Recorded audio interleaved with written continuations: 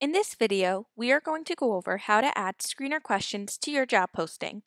Screener questions are a powerful vetting tool that can be really helpful in saving time during your candidate search. Once you're logged into Indeed, click on the Jobs tab between Overview and Candidates.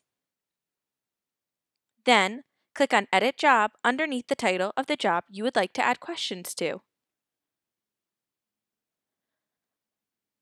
On the left-hand rail, click on Applicant Qualifications.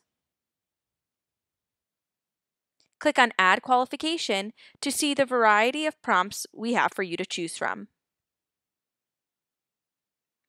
Select any that are important to you and personalize them.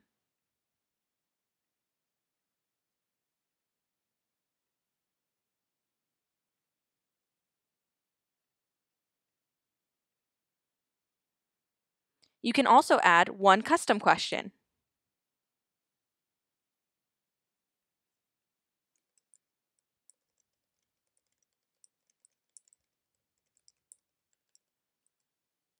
You have the option to mark the questions as preferred or required.